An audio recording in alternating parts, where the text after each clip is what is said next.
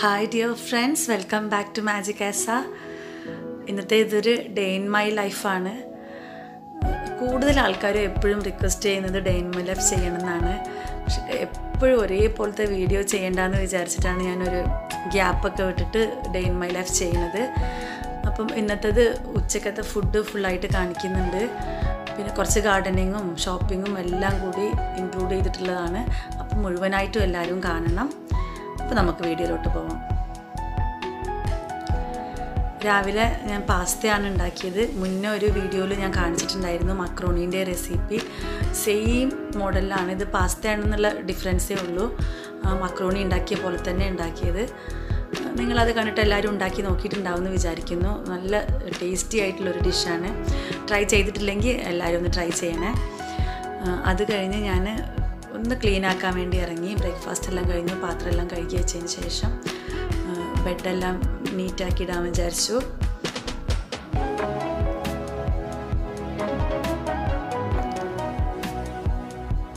ഞാൻ എപ്പോഴും പറയുന്ന പോലെ രാവിലെ തന്നെ നമ്മളെല്ലാം ഒന്ന് ഒതുക്കി വെച്ച് കഴിഞ്ഞാൽ നല്ലൊരു ഫീലാണത് വീടെല്ലാം വൃത്തിയായി കിടക്കുമ്പോൾ പിന്നെ ആര് വന്നാലും നമുക്ക് ടെൻഷനൊന്നും ഇല്ലല്ലോ ശരിക്കും വീടെല്ലാം അലങ്കോലപ്പെട്ട് കിടക്കുമ്പോൾ ആരെങ്കിലും വരിക എന്ന് പറഞ്ഞാൽ ഭയങ്കര ഒരു ചമ്മലാണ് ഏതെങ്കിലും ഒരു ദിവസം നമ്മൾ അങ്ങനെ ചെയ്യാതിരിക്കുക എന്തെങ്കിലും ഫോണിലൊക്കെ പെട്ട് കഴിഞ്ഞാൽ തന്നെ അന്ന് ചിലപ്പോൾ ആരെങ്കിലും വരും. അത് വല്ലാത്തൊരു ബുദ്ധിമുട്ടുള്ള കാര്യമാണ്. എപ്പോഴും നമ്മൾ വൃത്തിയായിട്ട് ഇരിക്കുമ്പോഴാണ് ആര് വന്നാലും നമുക്ക് ഒരു ടെൻഷനൊന്നും ഇല്ലാതിരിക്കുക.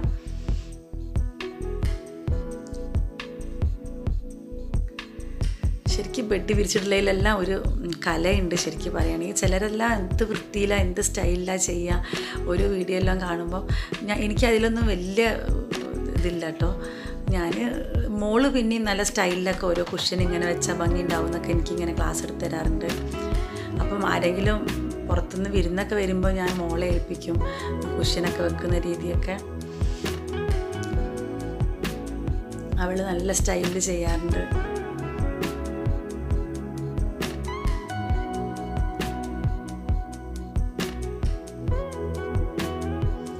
പിന്നെയുള്ള പണി എന്ന് പറഞ്ഞാൽ നമ്മൾ വാട്ടർ പ്ലാന്റ്സ് ഒരുപാടൊന്നുമില്ല. കുറച്ച് കുറച്ചൊക്കെ ഞാൻ വെച്ചിട്ടുള്ളൂ. നമ്മൾ ഇടയ്ക്കിടയ്ക്കെല്ലാം വൺസിന്റെ വീക്കെല്ലാം അതിന്റെ വെള്ളമെല്ലാം ഇട്ട് കളഞ്ഞ് പുതിയ വെള്ളം ആക്കണം. എന്നാലത് ഹെൽത്തി ആയിട്ട് ഇരിക്കുള്ളൂ. ഇത് നിങ്ങൾക്കറിയാലോ മണി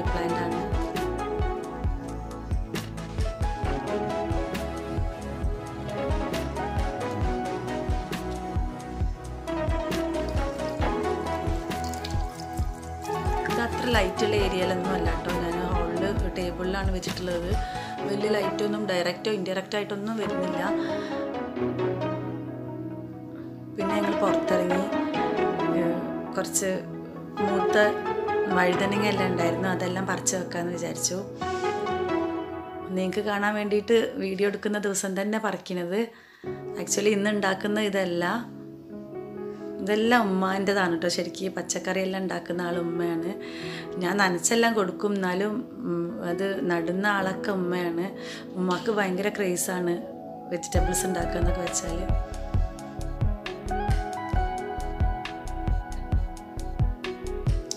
ശരിക്കും പറഞ്ഞാൽ ഒരു തൈ തന്നെ ഒരുപാട് ഉണ്ടാകുന്നുണ്ട് വലിയ പണിയൊന്നുമില്ല. നമ്മൾ നട്ട് കഴിഞ്ഞാൽ ഇന്നും നനച്ചു കൊടുക്കണമെന്നേ എപ്പോഴെങ്കിലുമൊക്കെ ഒന്ന് ഫെർട്ടിലൈസ് ചെയ്യണമെന്നേ ഉള്ളൂ.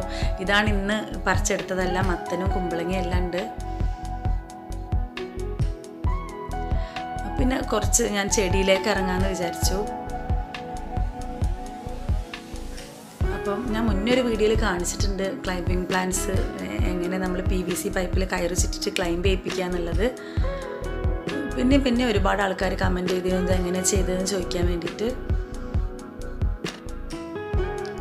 കുറേ ദിവസമായി ഞാൻ ആ മണി പ്ലാന്റ് വാങ്ങി വെച്ചിട്ട്. അപ്പം വീഡിയോ എടുക്കുന്ന ദിവസം അത് മാറ്റി നടാമെന്ന് വിചാരിച്ചിരിക്കുകയായിരുന്നു. ഈസി ആയിട്ടുള്ള കാര്യമാണ്. അത്ര ബുദ്ധിമുട്ടുള്ളതൊന്നുമല്ല ആർക്കും ചെയ്യാൻ പറ്റുന്നതാണ്. ഇത് കട്ടിയില്ലാത്ത ചൂടിക്കയറാണ്. വേണമെങ്കിൽ കട്ടിയുള്ളതാണെങ്കിൽ കുറച്ചും കൂടി എളുപ്പത്തിൽ വേഗം കഴിയും. ഇവിടെ ഉള്ള ഇതാണ്.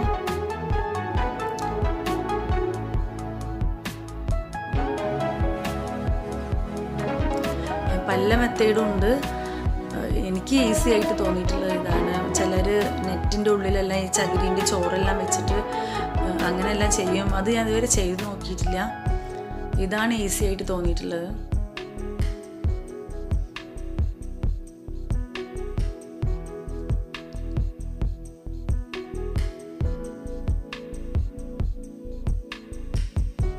എളുപ്പം ഒരു പത്ത് മിനിറ്റ് നേരത്തെ പണിയേ മാക്സിമം ഉള്ളൂ.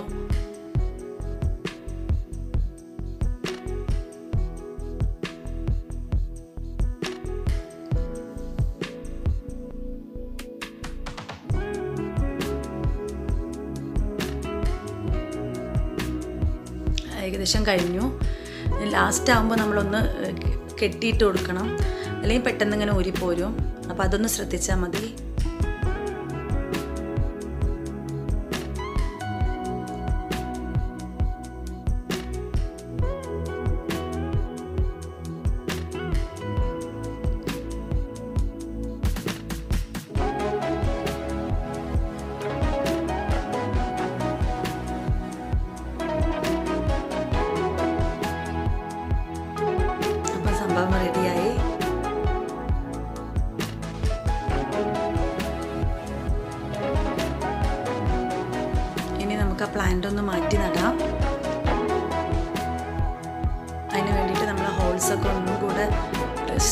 ശ്രദ്ധിക്കണം ഹോൾസ് ഉണ്ടോ എന്നുള്ളത്. അത് നമ്മൾ പ്ലാസ്റ്റിക് ചട്ടിയൊക്കെ വാങ്ങിക്കുകയാണെങ്കിലും അത് ചിലപ്പോൾ അടഞ്ഞുകൊണ്ടിരിക്കും അതൊന്ന് കത്തി വെച്ചിട്ട് തുറന്നു കൊടുത്താൽ മതി. പിന്നെ കുറച്ച് കല്ല് വെച്ചിട്ട് ആ ഹോൾസൊക്കെ ഒന്ന് അടക്കുക പെട്ടെന്ന് മണ്ണ് വന്ന് അടയാതിരിക്കാൻ വേണ്ടിയിട്ടാണ്.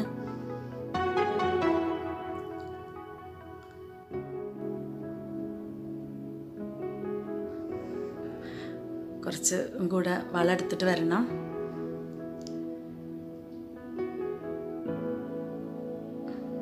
കുറച്ചും കൂടി ആഡ് ചെയ്ത് നല്ലോണം മിക്സ് ചെയ്യുക ശരിക്ക് ചകിരിച്ചോറും കൂടി കൊക്കോപ്പിറ്റും കൂടി ആഡ് ചെയ്യണം. ഞാനത് എന്റെ അടുത്ത് ഇല്ലാത്തതുകൊണ്ട് ചെയ്യുന്നില്ല. നിർബന്ധമുള്ള കാര്യമൊന്നുമില്ല. അത് കുറച്ച് ഈർപ്പൊക്കെ കൂടുതൽ കിട്ടാൻ വേണ്ടിയിട്ട്. നമ്മളെപ്പോഴും നനച്ചു കൊടുക്കുമ്പം അതിന്റെ ആവശ്യമില്ല.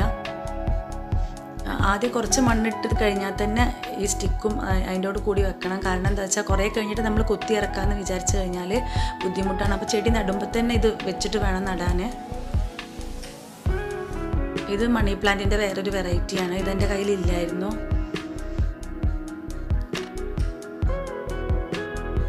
ഞാൻ മഞ്ചേരിയിൽ നിന്നാണ് ഇത് വാങ്ങിച്ചത്. ഫോർട്ടി റുപ്പീസാണ് ഇതിലേറെ കുറച്ചും കൂടി ചെറുതായിരുന്നു. അപ്പോൾ കുറച്ചൊരു ഏകദേശം പത്തിരുപത് ദിവസമായി വാങ്ങിയിട്ട് വാങ്ങുമ്പം ഇതിലേറെ കുറച്ചും കൂടി ചെറുതായിരുന്നു. ചെറിയൊരു കവറിലായിരുന്നു. ഇനിയിപ്പോൾ മാറ്റി നട്ടാൽ പെട്ടെന്ന് അത് വളരും.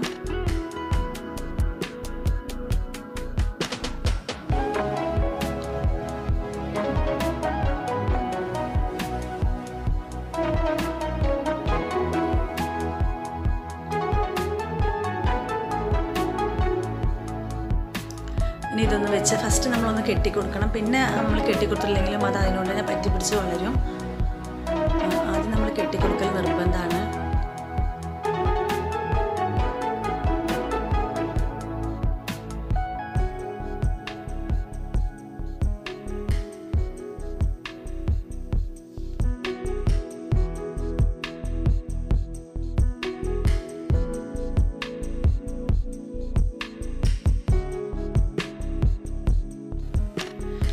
ഞാൻ എപ്പോഴും പറയുന്ന പോലെ തന്നെ പുതിയ ചെടികൾ നമ്മൾ മാറ്റി നടുമ്പോൾ കുറച്ച് ദിവസം തണലിൽ വെക്കണം ഷെയ്ഡഡ് ഏരിയയിൽ വെക്കണം.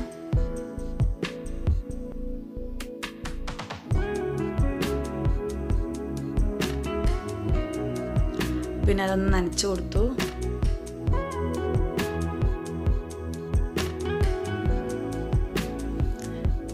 ശരിക്കും ഇത് വളർന്നു കഴിഞ്ഞ് ഈ കമ്പൊന്നും കാണാതിരിക്കുമ്പോഴാണ് നല്ല ഭംഗിയായിട്ടിരിക്കുക നിറച്ചു ഇലകളെല്ലാം വരുമ്പോൾ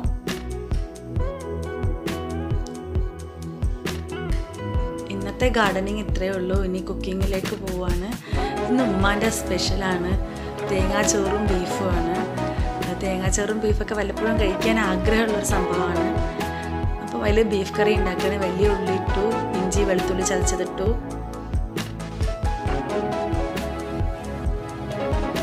പിന്നെ മെയിൻ ഇൻഗ്രീഡിയൻസ് ആയിട്ടുള്ള സ്പൈസസ്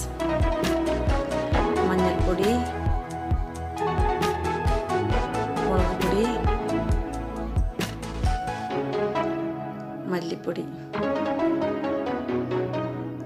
ഇത്ര ഇട്ടതിന് ശേഷം ആവശ്യത്തിന് ഉപ്പും ചേർത്ത് തക്കാളിയും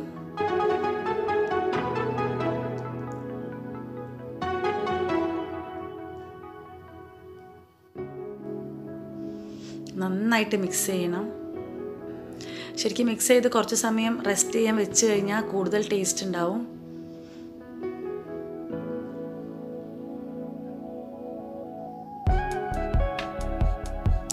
ഇത് പിന്നെ തേങ്ങാച്ചോറിലേക്കുള്ള തേങ്ങയാണ്. ഫ്രഷ് ആയിട്ടുള്ള തേങ്ങ ആകുമ്പോൾ കൂടുതൽ ടേസ്റ്റ് ആവും. അപ്പോൾ ഞാൻ അങ്ങനെ ഹെൽപ്പ് ചെയ്തുകൊണ്ടിരിക്കുകയാണ് ഓരോ കാര്യങ്ങളും അരിഞ്ഞു കൊടുത്തിട്ടും. അതൊക്കെ ബാക്കി കുക്കിംഗ് ഉമ്മയാണ് ചെയ്യുന്നത്. സാധാരണ തേങ്ങ ഞാൻ ചിലവാറില്ല. നമ്മൾ ഒരു താത്ത ഉണ്ട് അവരെ കൊണ്ട് ഒരു അഞ്ചെണ്ണം മാറണം ചിലവിപ്പിച്ചിട്ട് ഞാൻ ഫ്രിഡ്ജ് ഫ്രീസറിൽ വെക്കലാണ്. അപ്പോൾ കൂടുതൽ എളുപ്പമാണ് ഓരോ കാര്യത്തിനും. ഇപ്പോൾ ഇങ്ങനെ എന്തെങ്കിലും സ്പെഷ്യൽ ഉണ്ടാക്കുമ്പോൾ നമ്മൾ ഫ്രഷ് ആയിട്ടുള്ള ആകുമ്പോൾ കൂടുതൽ ടേസ്റ്റ് ആവുമെന്ന് വിചാരിച്ചിട്ടാണ്.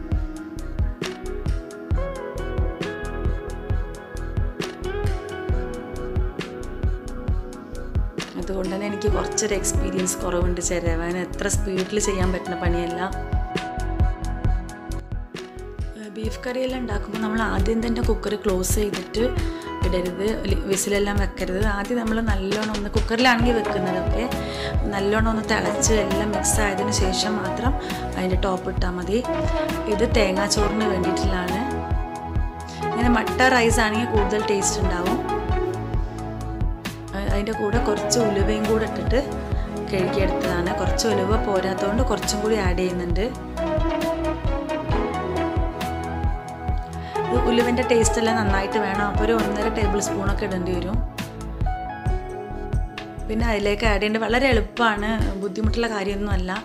ചെറിയ ഉള്ളി അരിഞ്ഞത്. പിന്നെ തേങ്ങ. ഒരു തേങ്ങ ഒരു മുക്കാ തേങ്ങയോളം ഇടുന്നുണ്ട്.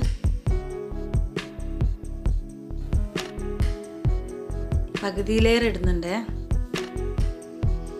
നന്നായി മിക്സ് ചെയ്തിട്ട് ചിലർക്കെല്ലാം കൺഫ്യൂഷൻ എന്താ വെച്ചാൽ അതിലേക്ക് എത്ര വെള്ളം ആഡ് ചെയ്യണം എന്നുള്ളതാണ്. അത് ഞാൻ കാണിച്ചു തരാം. അതിനൊരു ട്രിക്ക് ഉണ്ട്. ഇപ്പോൾ നെയ്ച്ചോറെല്ലാം വെക്കുമ്പോൾ നമുക്കറിയാം ഒരു ഗ്ലാസ് അരിക്ക് രണ്ട് ഗ്ലാസ് വെള്ളം എന്നാണ്. ഇത് അങ്ങനെ ഒരു കണക്കാക്കാൻ പറ്റില്ല നമുക്ക്. അരി ഒരേപോലെ അതിലൊന്ന് ഒരേപോലെ നിരത്തി വെച്ചിട്ട് വെള്ളം ഒഴിക്കണം. എന്നിട്ട് നമ്മളെ കൈ ഇങ്ങനെ അരിന്റെ മേലെ ഇത്ര നമ്മുടെ ആ ഒരു കാണിച്ചു തരാം. ഇതുവരെയാണ് വെള്ളം വേണ്ടത്. അരിന്റെ മേലെന്ന് നമ്മൾ കൈ കുത്തി നോക്കണം.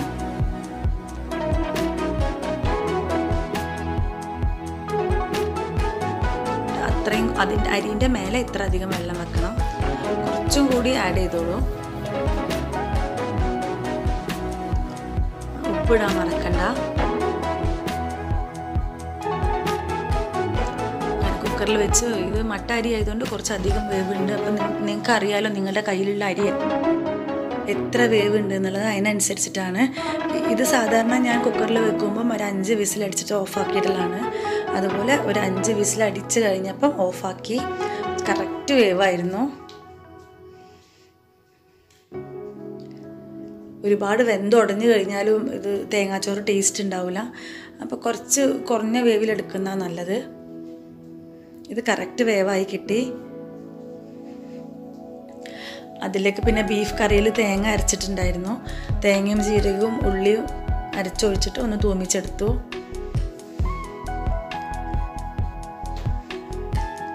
അമിക്ക് വേണ്ടി കുറച്ച് ഫ്രൈ ചെയ്തു.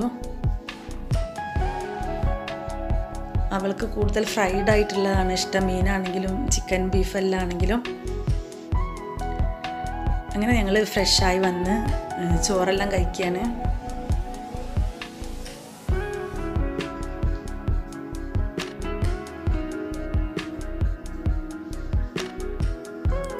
വല്ലപ്പോഴും ഉണ്ടാക്കുന്ന സാധനങ്ങളായതുകൊണ്ട് എല്ലാവർക്കും കൂടുതൽ ഇഷ്ടമുണ്ട് കഴിക്കാൻ നെയ്ച്ചോറും ബിരിയാണിയൊക്കെ നമ്മൾ എപ്പോഴും കഴിക്കുന്നതല്ലേ?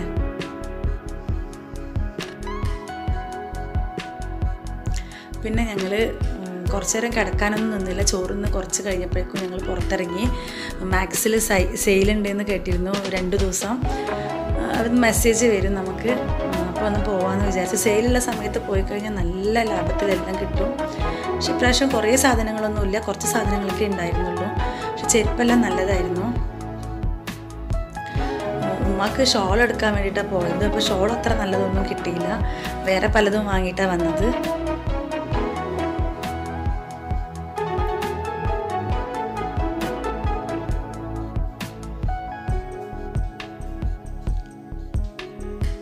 ഇവിടുന്ന് വാങ്ങിച്ചാലുള്ള ഒരു ബുദ്ധിമുട്ട് എന്ന് പറഞ്ഞാൽ ഒരേ ഐറ്റം തന്നെ കുറേ ഉണ്ടാവും. അപ്പോൾ കുറേ ആൾക്കാരുടെ അടുത്ത് ഉണ്ടാവും. കുർത്തീസൊക്കെ നമുക്ക് ഒറ്റ നമ്മളടുത്ത് മാത്രം ഉണ്ടാവണം എന്നുണ്ടെങ്കിൽ നമ്മൾ ശരിക്കും ഡിസൈനിങ് ബുട്ടിക്സ് എന്നൊക്കെ വാങ്ങിക്കണം. അല്ലെങ്കിൽ നമ്മൾ തന്നെ ഡിസൈൻ ചെയ്യണം. അപ്പോൾ ഒരുപാടൊന്നും ഉണ്ടാവില്ല എന്നാലും നമുക്ക് ഡെയിലി യൂസേജിനൊക്കെ ഒരുപാട് ഓഫറുള്ള സമയത്ത് ഒരുപാട് ലാഭത്തിൽ കിട്ടും. ഒരു ബിലോ ത്രീ ഹൺഡ്രഡിൽ തന്നെ നല്ല മെറ്റീരിയൽ ആയിട്ടുള്ള മെറ്റീരിയലുള്ള നല്ല ഡ്യൂറബിൾ ആയിട്ടുള്ളത് കിട്ടും.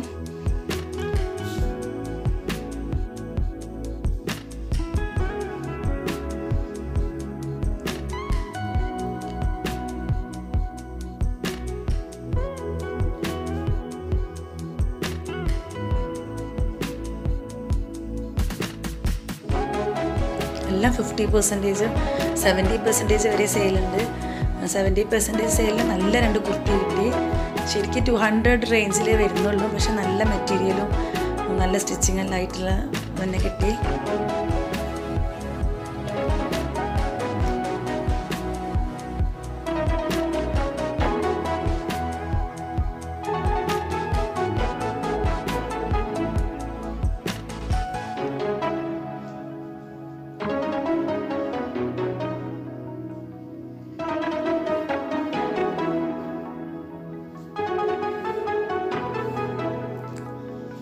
മലപ്പുറത്തുള്ള മാക്സിലാണേ ഇവിടെ മലപ്പുറത്തും മഞ്ചേരി ഇന്ത്യൻ മോളിലും മാക്സ് ഉണ്ട്. ആദ്യമെല്ലാം മാക്സിൽ പോകണമെന്നുണ്ടെങ്കിൽ കോഴിക്കോട് തന്നെ പോകണമായിരുന്നു. ഇപ്പോൾ ഇവിടെ തന്നെ ഉണ്ട്. ബാഗെല്ലാം നല്ല സെയിലുണ്ടായിരുന്നു എന്റെ കയ്യിൽ രണ്ട് ബാഗ് ഇപ്പോൾ അടുത്ത് വാങ്ങിയതുള്ളതുകൊണ്ട് ഞാൻ വാങ്ങിച്ചിട്ടില്ല. മോൾക്കൊരു പൗച്ച് വാങ്ങി.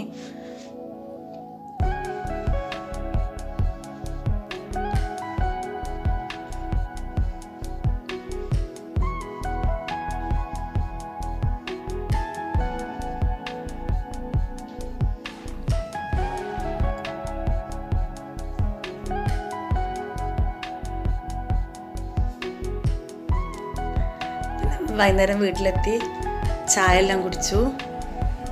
ഞാനും അമ്മയെ കുടിക്കുന്നുള്ളൂ. മോൾക്കത് ശീലമില്ലാത്തതുകൊണ്ട് ചായക്ക് ഉള്ള പരിപാടിയേ ഇല്ല.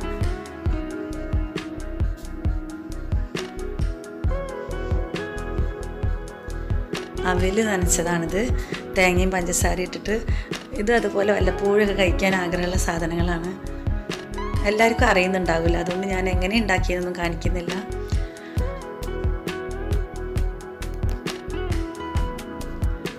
കഴിഞ്ഞ് ആസ് യൂഷ്വൽ നനക്കാൻ ഇറങ്ങി.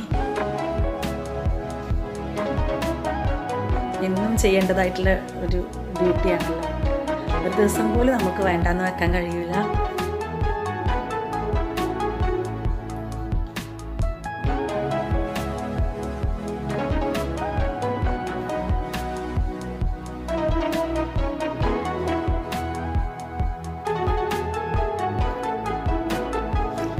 ശരിക്കും നനക്കുമ്പോഴാണ് നമ്മൾ ഓരോ ചെടിയും കാണുന്നത്. ഓരോ ചെടീന്റെ മുന്നിലെത്തി നനക്കുകയാണല്ലോ. അപ്പം അത് അതിന്റെ വളർച്ചയും ഇതെല്ലാം നോക്കുന്നത് ആ സമയത്താണ്. അല്ലാത്ത സമയത്തൊക്കെ നമ്മൾ ഒന്ന് നടന്ന് നോക്കും രാവിലെ എല്ലാം. പക്ഷെ ഇത്രയും ഡീറ്റെയിൽഡ് ആയിട്ട് നോക്കാൻ പറ്റുന്ന സമയം ഇതാണ് അപ്പം വേറെ ആര് നനക്കുന്നതിനേക്കാളും കൂടുതൽ എനിക്കിഷ്ടം ഞാൻ തന്നെ നനക്കുന്നതാണ്. വല്ലപ്പോഴും എവിടെയെങ്കിലും പോകുമ്പോൾ മാത്രമേ ആരെങ്കിലും ഏൽപ്പിക്കാറുള്ളൂ.